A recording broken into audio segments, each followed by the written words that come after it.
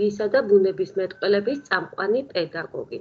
ჩემს მიერ განხორციელებული კომპლექსური დავალება არის გასართობი პარკი, რომელიც განვახორციელე დაწყებითი საფეხურის მე-6 კლასის ბაზაზე. კლასში ირიცხება სიტ 28 მოსწავლე და СС ანუ სპეციალური საგანმანათლებლო საჭიროების მქონე მოსწავლე კლასში არ მყავს. ჩემი მიზანი იყო და არის საბუნებისმეტყველო მეცნიერებების დისციპლინების მოიცავს სწორედ იმას, რომ მოსწავლეებმა შეძლონ კვლევაციებაზე დაფუძნებული სწავლება. და სწორედაც სამიზნეცნებად შევარჩიე ერთ-ერთ ცდებად კვლევა.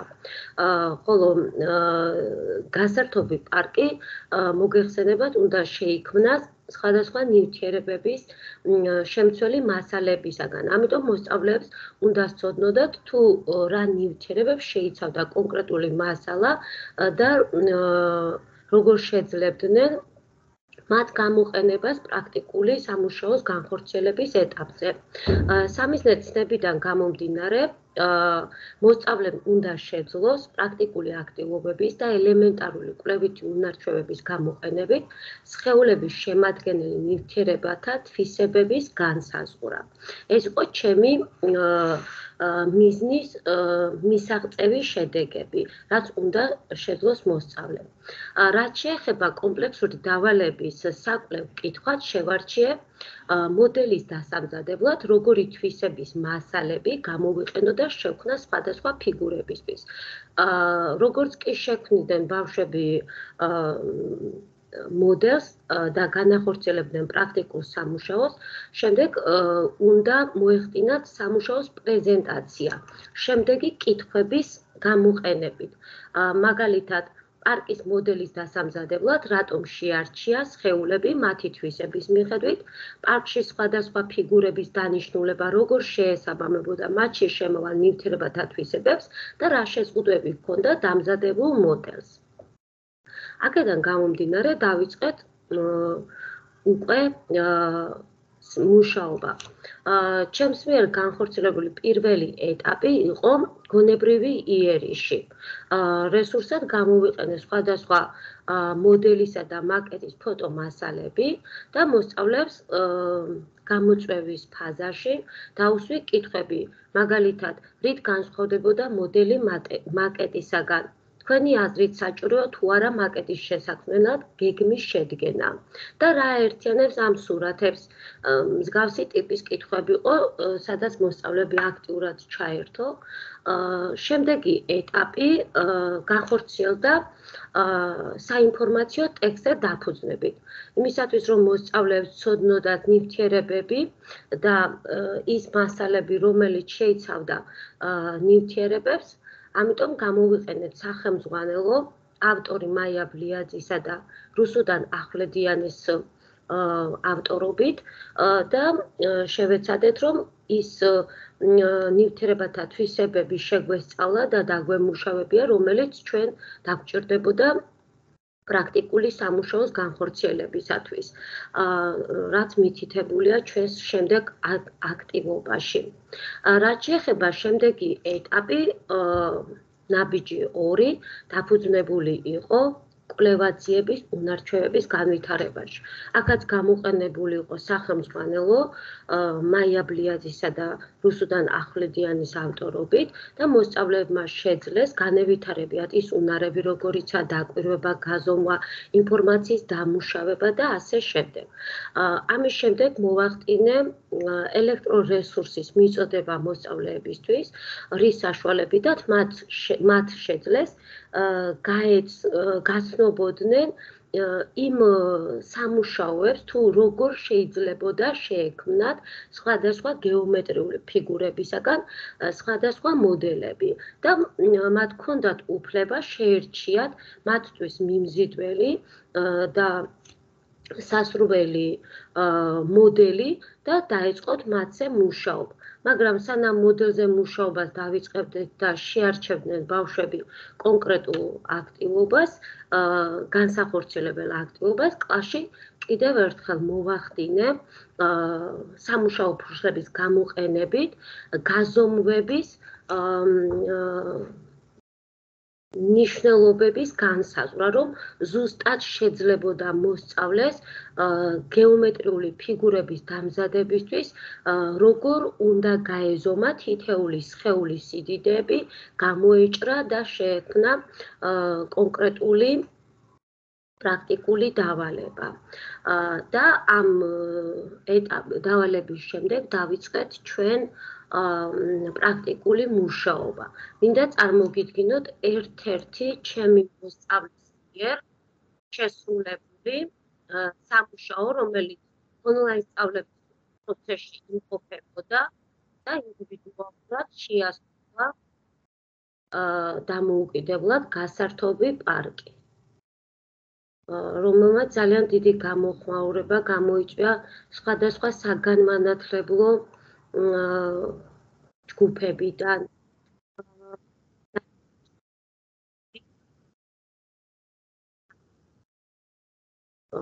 აი ახლა დასრულებულ ფოტოს აჩვენებთ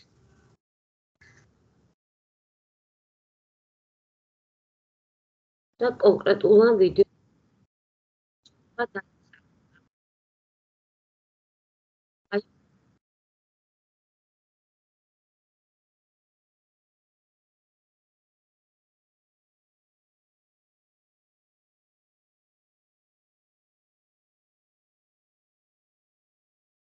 მინდა წარმოგიდგინოთ ჩემს მიერ ჩვენ ჩემი მოსწავლების მიერ შესრულებული სხვადასხვა მოდელები თუ მაკეტები, რომელიც გამოფენილი იყო სკოლის ლაბორატორიაში. მოსწავლეებმა ჯგუფურად იმუშავეს, ინდივიდუალურად გამოიყენეს სხვადასხვა მასალები და მოახდინეს თავისი ნამუშევარის პრეზენტაციაც. რაც შეეხება, მინდა წარმოგიდგინოთ ერთი მოსწავლის პასუხი კონკრეტულად იმ მოსწავლის, რომლის ვიდეო ვიდეო რგოლიც მქონდა ჩაშენებული პრეზენტაციაში, და ის მოსწავლე გვეუბნება, რომ ჩემს მიერ დამზადებული მოდელი გამორჩეული და ჩემთვის მნიშვნელოვანია, რადგან დამეხმარა საკუთარი შესაძლებლობების განსაზღვრაში. ფიქრობ, სამშენებლო მოდელის შექმნა ჩემთვის შეუძლებელ დაბრკოლებას წარმოადგენდა. წარმოადგენდა. რაც შეეხება კითხვებზე პასუხს, რა შეზღუდვები აქვს თქვენ დამზადებულ მოდელს? ჩემს მიერ დამზადებულ მოდელს არ შეუძლია ავტომატური მოძრაობა, რის გამოც გაუკეთე ხელის მამოძრავებელი მექანიზმი. პარკის მოდელის დასამზადებლად რატომ შეარჩია სხეული მათი თვისებების მიხედვით? მოდელის დასამზადებლად ძირითადად შევარჩია ხის მასალა, რადგან უფრო მარტივი დასამუშავებელი იყო, წებვადი იყო, ადვილად შეიძლებოდა სხვადასხვა გეომეტრიული ფიგურების გამოჭრა შეღებვა და კონსტრუქცია უფრო მყარი იქნებოდა დიდხანს შეინახებოდაო. რაც შეეხება სხვადასხვა ფიგურების დანიშნულება, როგორ შეესაბამება მათში შემოვალ ნივთიერებათა თვისებებს. მოგეხსენებათ, ყველა ნივთიერებას აქვს სპეციფიკური თვისება, რომელიც ისინი ხასიათდება და განსხვავდებიან ერთმანეთისაგან, მაგალითად, სიმკვრივით, ელასტიურობით, სიმტკიცით და ასე შემდეგ. უნდა ითქვას, რომ ფიზიკური სხეულები აა ფიზიკური სხეულები გარკვეული მატერიალური ობიექტია, რომელსაც აქვს ფორმა და კაფიოდ განსაზღვრული გარე საზღვრები, რაც განისაზღვრება ნივთიერებების თვისებებით. ეს იყო მოსწავლის პასუხები პრეზენტაციის წარდგენის შემთხვევაში. რაც შეეხება ჩემს მიერ განხორციელებული შეფასება.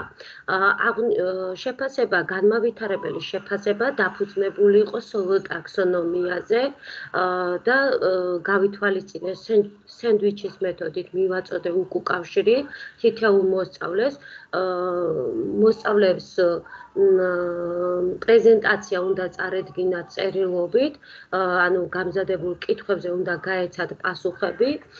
მოხდა იყო შემთხვევები, რომელსაც ზეპირადაც კი წარადგინეს თავისი პრეზენტაცია, მაგრამ 28 მოსწავლე რომ გამომეკითხა და სრულად მომეხტინა ინდივიდუალურად დიდეული მოსწავლის უკუკავშირი, ეფექტური ყოფილიყო მათთვის, ამიტომ წერილობით შევთავაზე, რომ წარედგინათ თავისი პრეზენტაცია. ჩემს მიერ განხორციელებული უკავშირო მიხარია რომ შეძელი და დაამზადე გასართობი პარკი. აა შენი საუბრიდან კარგად ჩანს, რომ იცი იცის ხეულის გარკვეული თვისებები და კარგად გამოიყენე ხის მასალა. მაგრამ აქვე მივეცი რჩევა, რომ უკეთესი იქნებოდა, რომ ყურადღება საუბრისას გაგეხმახვილებია გეომეტრიულ ფიგურებზე და აა უფრო კარგად მოსასმენი იქნებოდა პრეზენტაცია. სტუმრებისთვის ან უფრო დამაჯერებული დამაჯერებელი იქნებოდა თუ გეომეტრიული ფიგურებით იქნებოდა აღწერილი თქვენს მიერ წარგენილი წარგე ჩანიშნულ შეკითხვებზე პასუხი.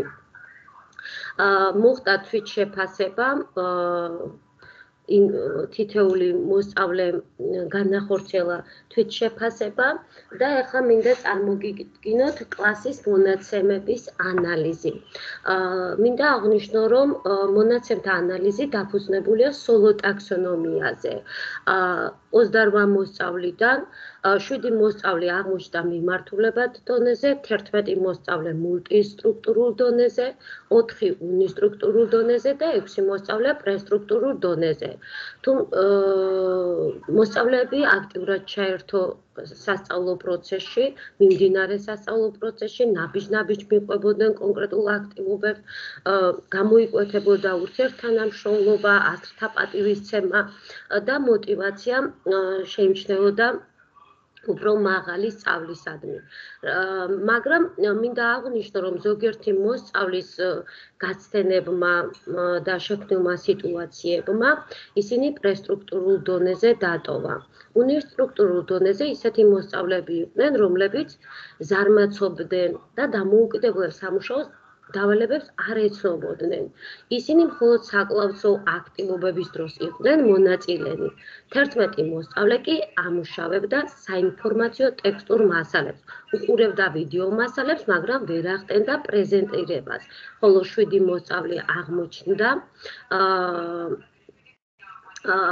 მიმართულებად დონეზე, რომელმაც შექმნა პრეზენტაცია და ასევე მოახტინა ისა შექმნა პროდუქტი და მოახტინა პროდუქტის პრეზენტაცია. სოლო ტაქსონომიის მოდელის საშუალებით გავარკვიე, როგორ ესმის მოსწავლეს, რა სწავლოს და რა პრობლემები შეიძლება შეექმნას მას სასწავლო პროცესში. აღწერე სწავლის შესაფერის ისა აღწერე მოსწავლის ნამუშევარი.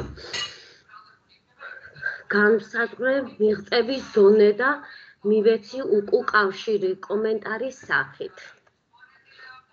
აა აქვე მიღებული გამოცდილებიდან მინდა გითხრათ, რომ კომპლექსური დავალების დანერგვამ დამანახა, როგორ გამოვიყენო სახელმწიფო სხვადასხვა პარაგრაფები და შეუსაბამო კომპლექსური დავალების შინაარს. მეტად ნათელი გახდა ჩემთვის სასწავლო ცნების მკვიდრები მკვიდრისკენ როგორ მიმართო მოსწავლის სასწავლო აქტივობები. კოლეგებთან თანამშრომლობამ და მათთან ერთად განხილვამ გამიადვილა რესურსებისა და აქტივობების დაგეგმა. გოშთან თანამშრომლობამ შემაძლებინა ადვილად გამეგო ცვლილებები მესამე თაობის სასწავლო გეგმაში. სოლო განმავითარებელმა შეფასებამ გამიადვილა მოსწავლეთა მიღწევის დონის აღწერა ცნებასთან მიმართებასა და კონსტრუქციული უკუკავშირის მიწოდება განმეხორციელებია თითოეული მოსწავლისათვის. გმადლობთ ყურადღებისთვის. აა ქალბატონო მაგდანა ძალიან დიდი მადლობა. საინტერესო პრეზენტაციისათვის და გისურვებთ წარმატებას